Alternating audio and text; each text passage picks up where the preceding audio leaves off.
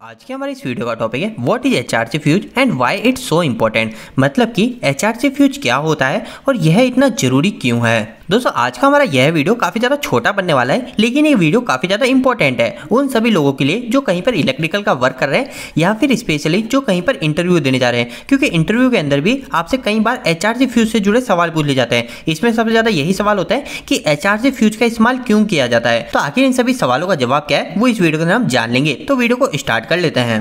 दोस्तों, वीडियो के स्टार्टिंग में सबसे पहले हम यह जान लेते हैं कि आखिर एच फ्यूज की फुल फॉर्म क्या होती है। तो दोस्तों एचआरसी की फुल फॉर्म होती है हाई रेप्चरिंग कैपेसिटी अब इस हाई रेप्चरिंग कैपेसिटी का क्या मतलब है? अगर आप यह जान जाओगे तो आप एच फ्यूज को भी समझ जाओगे, क्योंकि इसके फुल फॉर्म से ही हम इसके यूजेस को पता कर सकते हैं कि आखिर ये कहाँ पे लगाया जाता है। तो अगर हम इसके फुल फॉर्म को हिंदी में जाने तो हाई का मतलब हम सभी को पता है, ज़्यादा होता है। इसके बाद में दोस्तों रेप्चरिंग इसका मतलब क्या होता है? तो दोस्तों, इस रेप्चरिंग का मतलब होता है हमारा टूटना या फिर फूटना। जैसे कि हम सभी को पता है फ्यूज क्या होता है? फ्यूज के अंदर से अगर हमारा ज़्यादा करंट फ्लो होगा सर्किट में तो हमारा जो फ्यूज है, ये फ्यूज ओपन हो जाएगा। मतलब इसके अंदर का जो तार है, वो तार टूट जाएगा। तो यही इस रेप्चरिंग का मतलब होता है, इसका मतलब होता है टूटना।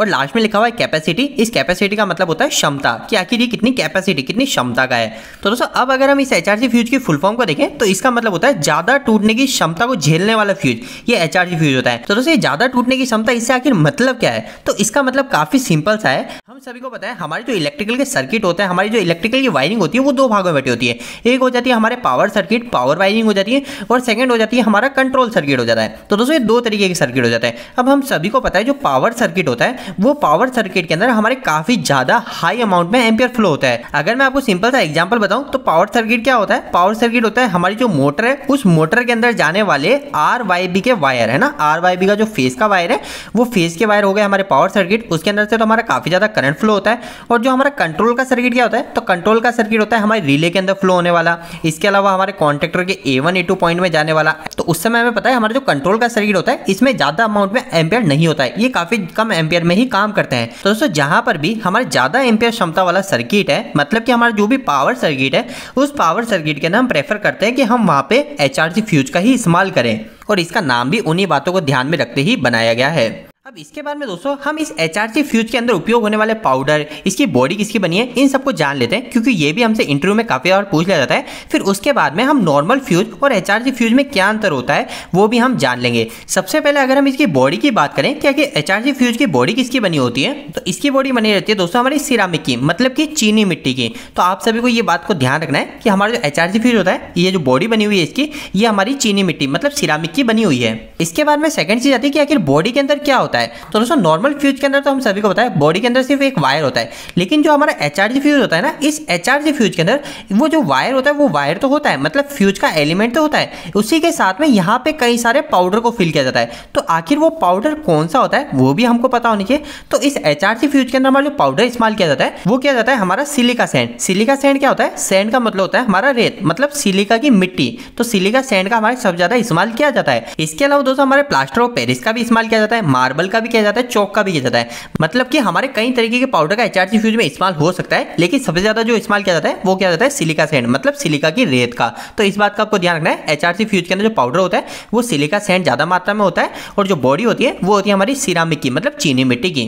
इसके बाद में दोस्तों नेक्स्ट चीज़ आ जाती है, आखिर इसमें जो फ्यूज एलिमेंट है, वो फ्यूज एलिमेंट किसका बना होता है? मतलब कि इसके अंदर जो फ्यूज का तार है, वो तार किस चीज़ का है? मतलब जो मेटल है, अंदर जो मेटल होगा, वो मेटल किस चीज़ का है? तो दोस्तों एचआरसी फ्यूज के अंदर का मेटल ज़्यादातर सिल्वर या जिंक का होता है। इसके अलावा किसी किसी एच फ्यूज के अंदर हमारे कॉपर का भी इस्तेमाल किया जाता है। बहुत ही कम एचआरसी फ्यूज ऐसे होते हैं जिसमें एल्यूमिनियम का इस्तेमाल किया जा रहा हो। तो ज़्यादातर हमारे जो एचआरसी फ्यूज होते हैं, वो सिल्वर, जिंक या फिर कॉपर के ही होते हैं। तो दोस्तों, अभी तक हमने यह तो जान लिया कि आखिर एच फ्यूज कहाँ लगाया जाता है और साथ साथ एच फ्यूज को बनाने के लिए किन किन चीज़ों का उपयोग लिया जाता है। लेकिन अब इन सभी के बाद में हम नेक्स्ट थोड़ा यह जान लेते हैं कि आखिर जो एचआरसी फ्यूज है, वो हमारे नॉर्मल फ्यूज से कितना अलग है। इन दोनों में मुख्यतः क्या अंतर होता है?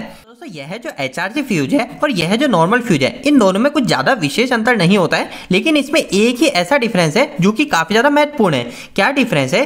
तो दोस्तों, एक हम एग्ज़ाम्पल से समझ लेते हैं। हम ये मान लेते हैं कि हमने यहाँ पर एक मोटर को चला रखा है। ठीक है, ये मेरी एक मोटर है। ये मोटर मैं मान लेता हूँ कि मेरी पाँच एम्पियर करंट को लेती है। अब मैं क्या करता हूँ दोस्तों सेम ऐसी मोटर पाँच एम्पियर वाली एक यहाँ पे भी लगा देता हूँ। तो मैंने एक यहाँ पे पाँच एम्पियर की यहाँ पे मोटर लगा ली। अब एक को करंट जो दिया है, वो एच फ्यूज के द्वारा दिया है। ये मैंने एचआरजी फ्यूज के द्वारा दिया। और दूसरी ये जो मोटर है इस मोटर को जो करंट दिया है वो नॉर्मल फ्यूज के द्वारा दिया है।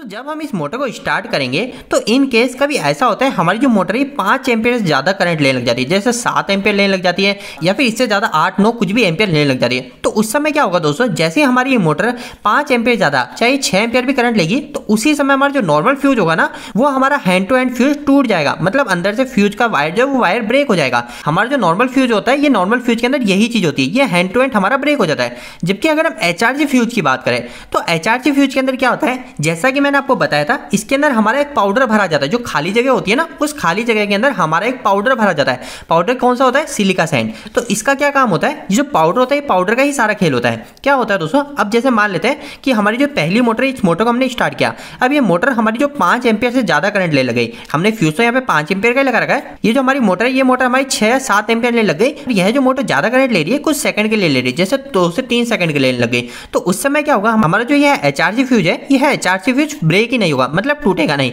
यह ज़्यादा एम्पियर जाने पर भी क्यों नहीं ब्रेक हुआ? ये ब्रेक नहीं हुआ है हमारी इस पाउडर की मदद से। अब यहाँ पे कई लोगों के मन में एक और क्वेश्चन काफ़ी ज़्यादा यह आ रहा होगा कि हमारा फ्यूज तो ब्रेक हो जाना चाहिए, जैसे ज़्यादा एम्पियर पाँच से साढ़े पाँच एम्पियर भी जाना तो भी हमारा ब्रेक हो जाना चाहिए। तो अभी इस पॉइंट को हम एक मिनट के बाद डिस्कस करेंगे। इसके पहले हम यह जान लेते हैं कि जो फ्यूज है, ये फ्यूज हमारा ब्रेक क्यों नहीं हुआ? तो ये ब्रेक नहीं हुआ इस पाउडर की वजह से। यह पाउडर ने कैसे इसको रोका हम सभी को पता है, हमारा कोई भी वायर है, चाहे वो फ्यूज वायर ही है, वो फ्यूज वायर कब ब्रेक होता है? हमारा जब उसमें से एम्पेयर करंट फ्लो होगा तो करंट फ्लो होने के कारण क्या होगा? जो वायर है, वो वायर गर्म होगा। और वायर ज़्यादा गर्म होगा, उसकी कैपेसिटी ज़्यादा गर्म होगा, तब वो टूट जाता है। तो यही चीज़ होती है हमारे फ्यूज के अंदर भी। तो इसके अंदर जो हम पाउडर यूज़ करते हैं ना एचआरजी फ्यूज में, ये एचआरजी फ्यूज का पाउडर हमारे जो वायर है, इस वायर को जल्दी गर्म नहीं होने देता। मतलब कि थोड़े समय तक गर्म होने से रोक के रखता है। तो हमारे जब ये वायर जल्दी गर्म नहीं होगा, जैसे इसमें पाँच एम्पेयर से ज़्यादा सात एम्पेयर भी चले गया, लेकिन फिर भी कुछ समय तक गर्म नहीं हुआ तो इसी कारण से हमारा जो वायर है, वायर जल्दी नहीं टूटा। तो यही चीज़ होती है हमारे एच फ्यूज के अंदर, जो पाउडर होता है, ये पाउडर हमारे जो एलिमेंट है फ्यूज एलिमेंट उस एलिमेंट को जल्दी गर्म नहीं होता। इसके कारण हमारा जो फ्यूज वायर है, वो फ्यूज वायर हमारे मिली के अंदर जल्दी से ब्रेक नहीं होता है। और जबकि अगर हम नॉर्मल फ्यूज की बात करें तो इसके अंदर हमारा कोई भी ऐसा पाउडर नहीं भरा होता है फ्यूज के अंदर। जिसके कारण हमारा जो वायर है, वो वायर जल्दी हीटअप हो जाता है और हीटअप होते ही हमारा ये वायर जल्दी से ब्रेक भी हो जाता है। अब आपको यह तो समझ में आ गया कि हमारा ये जो एच आर फ्यूज है एच आर फ्यूज जल्दी से ब्रेक क्या नहीं हुआ? सभी के मन में जो सवाल था कि आखिर हमारा फ्यूज तो ब्रेक हो जाना चाहिए ना? यही तो हमको चाहिए कि हमारा पाँच एम्पेयर का हमने फ्यूज लगा रखा है तो छह एम्पेयर जाते ही हमारा ब्रेक हो जाए। तो दोस्तों, बिल्कुल सही है, हमारा फ्यूज छह एम्पेयर पे ब्रेक हो जाना चाहिए। लेकिन क्या होता है, हमारे इलेक्ट्रिकल के अंदर कई सारे ऐसे डिवाइस होते हैं, जैसे कि हम एक मोटर की ही बात करें तो हम सभी को पता है, हमारी जो मोटर है, वो मोटर स्टार्टिंग में कुछ हैवी करंट लेती है, जिसको बोलते हैं हम इंडस करंट जब हम उस मोटर को स्टार्ट करते हैं ना तो स्टार्टिंग के समय, जैसे अगर वो मोटर पाँच एम्पियर नॉर्मल समय में करंट लेती है तो वो स्टार्टिंग के समय हमारी कितनी एम्पियर करंट लेगी? दस एम्पियर, पंद्रह पंद्रह एम्पेयर या फिर इससे भी ज़्यादा एम्पेयर लेती है। पर वो जो एम्पेयर करंट होता है ना, वो ज़्यादा समय के लिए नहीं होता। वो ज़्यादा ज़्यादा हमारा दो से पाँच सेकंड तक के लिए होता है। तो अगर हमने यहाँ पर हमारी इस मोटर के लिए, पाँच एम्पेयर करंट लेने वाली मोटर के लिए नॉर्मल फ्यूज को लगा रखा होगा तो वो तो हमारा फटाफट से ब्रेक हो जाएगा। पर अगर हमने एचआरजी फ्यूज को लगा रखा होगा तो वो हमारे कुछ समय तक एक्स्ट्रा करंट को झेलता है। जो पाउडर होता है पाउडर हमारे थोड़े समय तक जल्दी गर्म नहीं होता है तो यही फ़ायदा मिल जाता है। इसीलिए आप देखेंगे कि कभी भी हम जो मोटर होती है, उस मोटर पर हम नॉर्मल फ्यूज को इस्तेमाल नहीं करते। हैं, वहाँ पर हम एच फ्यूज का ही इस्तेमाल करते हैं। और अगर आपको मोटर पे नॉर्मल फ्यूज को लगाना होगा तो नॉर्मल फ्यूज कैसे लगाएँगे? नॉर्मल फ्यूज लगाएँगे आप उसके इंड्रस करंट के हिसाब से। अब जैसे मेरी मोटर नॉर्मल समय पाँच एम्पियर लेती है, पर उसका जो इंड्रस करंट है, वो है हमारा पंद्रह एम्पियर तो आप क्या करेंगे, अब इस पाँच एम्पियर की मोटर पर पंद्रह एम्पियर का फ्यूज लगाएँगे। तो दोस्तों, अगर हमने इस पंद्रह एम्पियर के फ्यूज को इस मोटर पर लगा दिया तो जब हमारी मोटर ओवरलोड होगी और ज़्यादा समय तक ज़्यादा एम्पियर करंट लेगी यानी कि बारह तेरह एम्पियर करंट लेने लगे तो उस समय तो हमारा फ्यूज ब्रेक ही नहीं होगा। तो इसलिए हम क्या करते हैं, यहाँ पे एच फ्यूज का इस्तेमाल करते हैं। यह एच फ्यूज क्या करता है? ये हमारे कुछ समय तक 10 से 12 सेकंड तक हमारा जो टेम्परेचर है, उस टेम्परेचर को हीटअप नहीं होने देता। हमारा जो पाउडर है पाउडर उसको हीट नहीं होने देता, जिसके कारण हमारा जो एच फ्यूज है, वो इंडस करंट को आसानी से झेल लेता है। जिसके कारण हमारा जो पावर सर्किट होता है, इस पावर सर्किट को अच्छे से प्रोटेक्शन मिल जाती है। दोस्तों उम्मीद है कि आज के इस एच आर फ्यूज के वीडियो से आपको कुछ बेहतर जानकारी मिली होगी। आपको यह वीडियो कैसा लगा इस वीडियो को लाइक करके ज़रूर बताएँ। अगर आपका कोई भी सवाल इस वीडियो के प्रति इलेक्ट्रिकल जुड़े तो आप मुझे नीचे कमेंट बॉक्स में कमेंट करके पूछ सकते हैं। इलेक्ट्रिकल वीडियो से आप इन्हें देखना पसंद करते हैं, आज हमारे चैनल को सब्सक्राइब कर लीजिए। आज के लिए इतना ही। धन्यवाद।